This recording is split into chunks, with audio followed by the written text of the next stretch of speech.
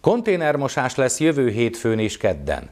A Viridis Pannonia munkatársai a társasházi hulladékgyűjtésre használt 770 és 1100 literes edényeket tisztítják város szerte július 15-én és 16-án.